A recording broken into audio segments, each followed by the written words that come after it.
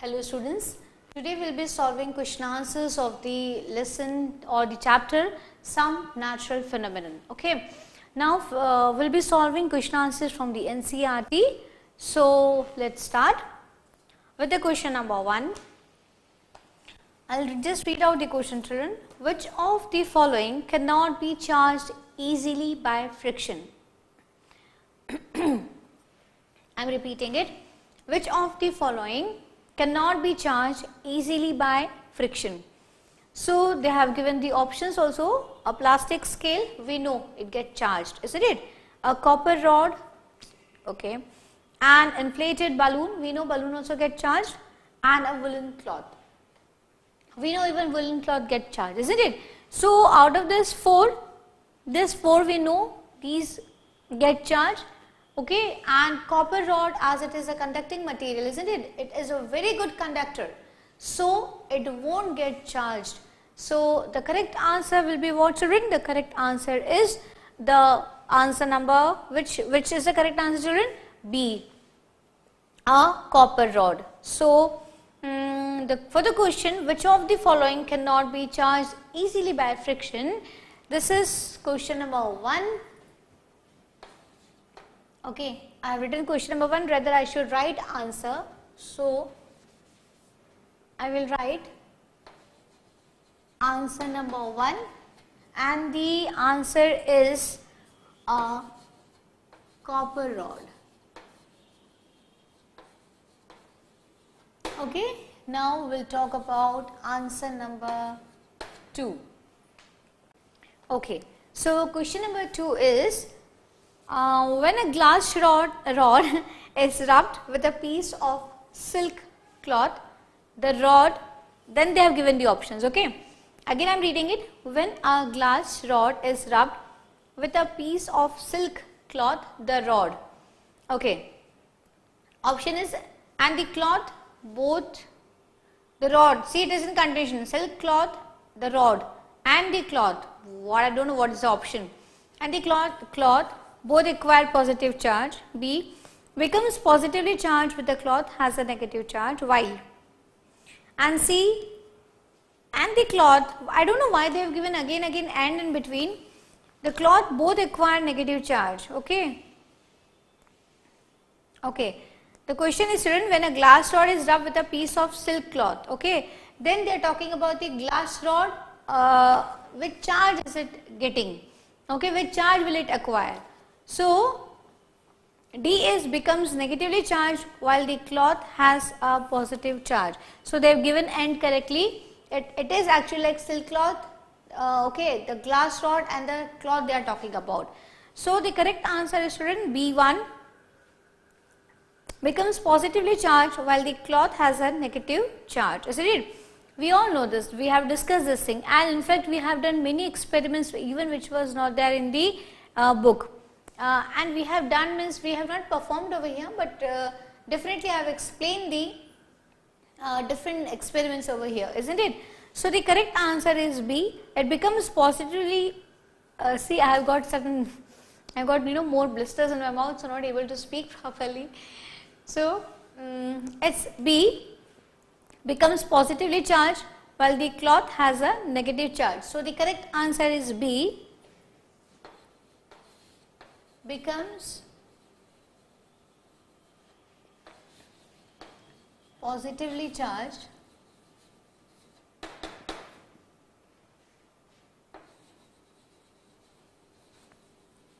while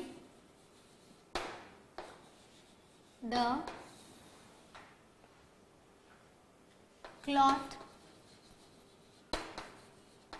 becomes negatively charged. Okay, this we have performed many a times.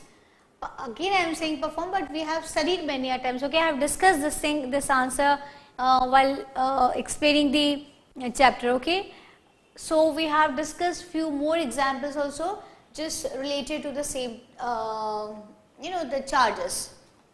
Now, we'll move to the next question, children. Now we are talking about the question number third. So what is question number third? Question number third is true and false. So let me read A.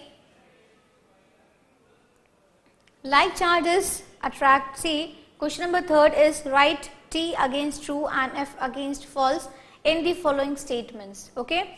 So A is like charges attract each other. See we all know like charges will not uh, attract each other.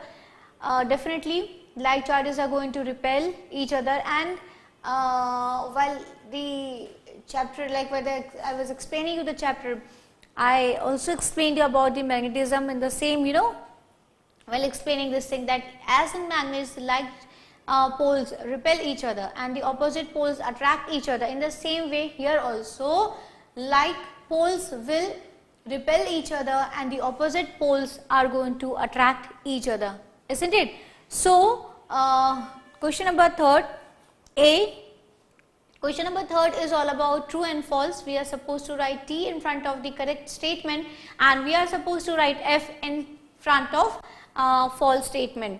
So, is like charges attract each other. Is it true or false? So, definitely it is what? False.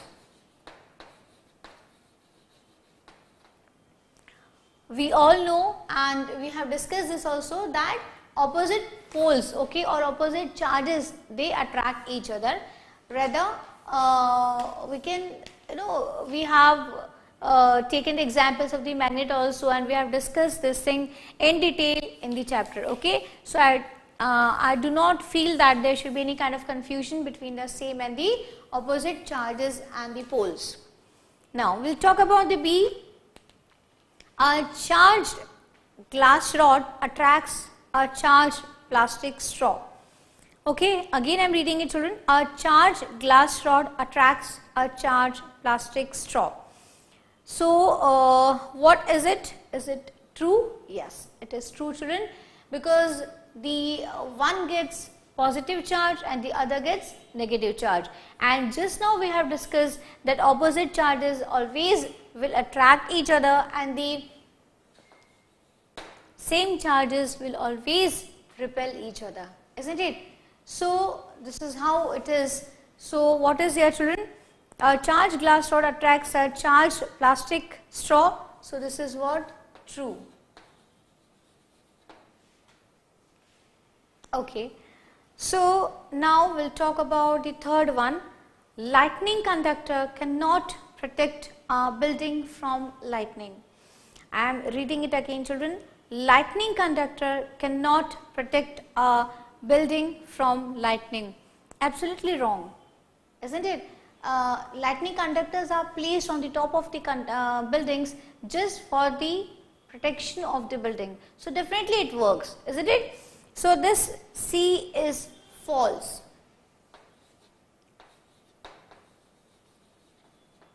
C is what children? C is false. Okay.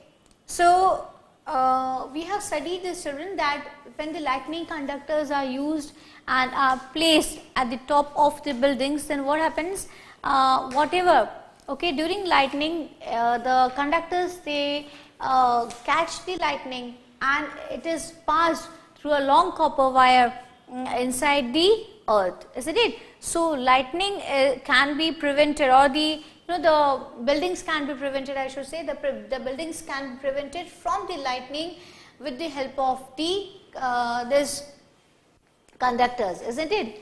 So, it is very very important to have these lightning conductors at the top of the uh, tall buildings. Now, we will have fourth one, fourth only na? Uh, okay. So, question number C is over I think so or D is also there. Yeah, D is also there children. Earthquakes can be predicted in advance. Okay.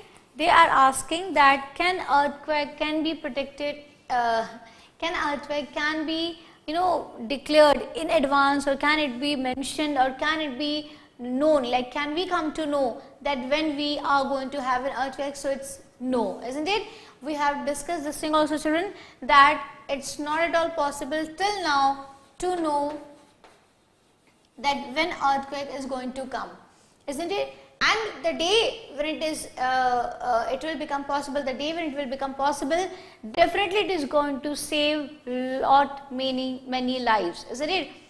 So till now we are not able to uh, no uh, we cannot or the scientists cannot uh, tell in advance that when and where the earthquake are going to take place okay so now we'll talk about question number 4th children.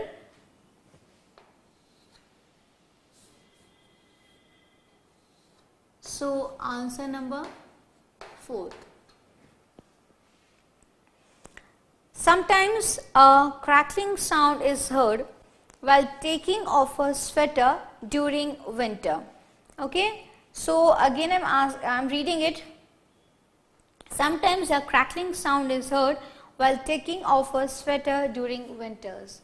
See, uh, what is there? It's wool and wool get charged. You know, uh, we know that we have discussed this thing.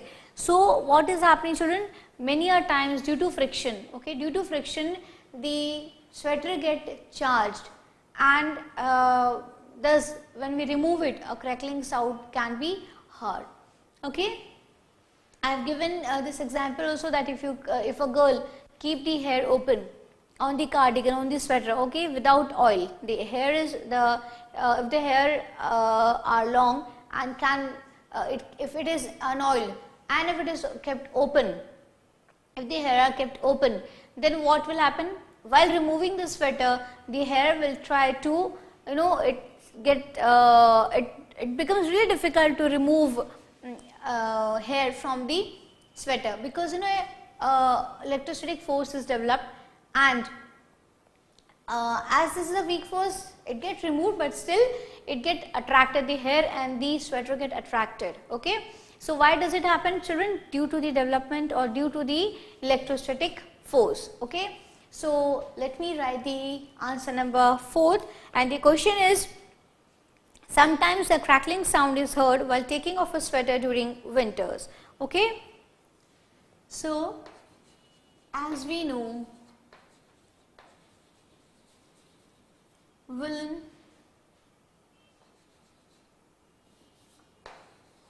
get charged due to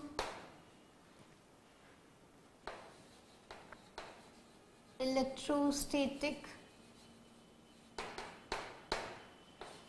force and thus a crackling sound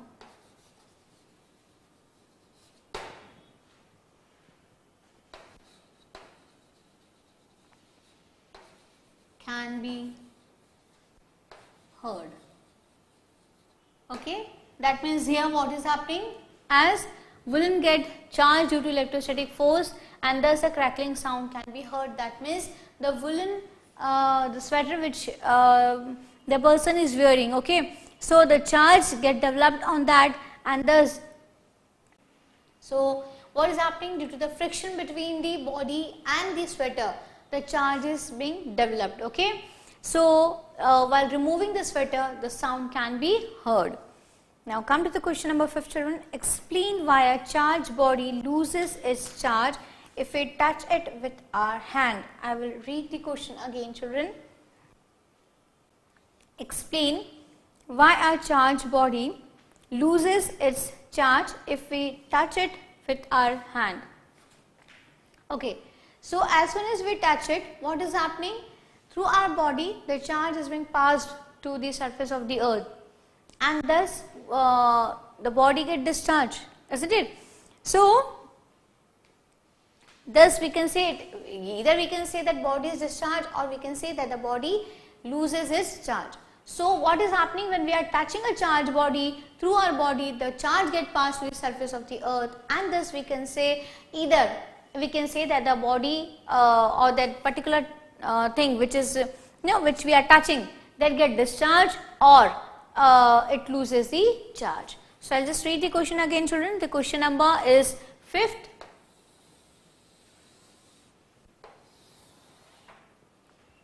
So, I will write over here answer number 5th. Okay. So explain why a charged body loses its charge if we touch it with our hand. Okay. So when we touch the object okay our body transfers the charge from the object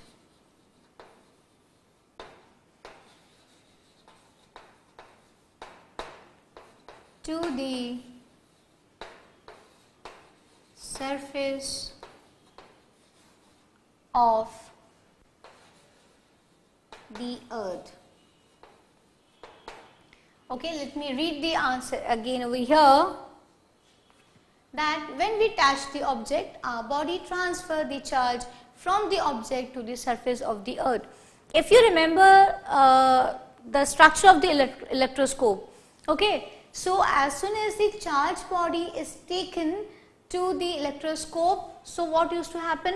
We can see the, you know, the gold leaf moving apart.